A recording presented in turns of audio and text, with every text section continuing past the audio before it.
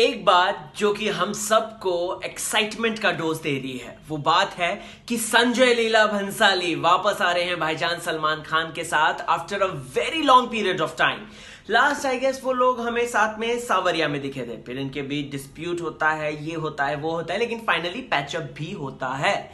अब दोस्तों, ये जो फ़िल्म है, हमें जो खबरें आ रही हैं और बंसाली सर खुद कह रहे हैं कि मुझे ये हम दिल दे चुके सनम पार्ट टू लग रही है। हम दिल दे चुके सनम पार्ट टू इसलिए क्योंकि हम दिल दे चुके सनम की सारी क्वालिटीज इस स्क्रिप्ट के अंदर हैं, जो कि संजय सर बनाने वाले हैं। यानी कि इमोशन है ड्रामा है ट्रेजेडी है रोमांस है सस्पेंस है, ये है, वो है सारी चीज़ें। भाईजान सलमान खान इस फ़िल्म की शूटिंग सितंबर, अक्टूबर में शुरू कर देंगे। इसके बारे में सारी मीडिया रिपोर्ट्स भी हैं।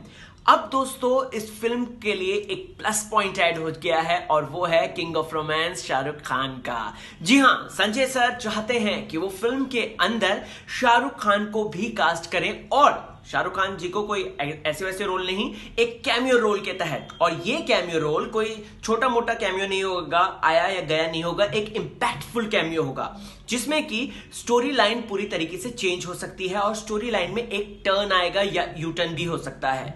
लेट्स सी मैं तो बहुत ज़्यादा एक्साइटेड हूँ। जब मैंने ये खबर सुनी और पढ़ी मीडिया पोर्टल्स में तो मैंने सोचा फटाफट आप लोगों को भी अवेयर कर दूँ।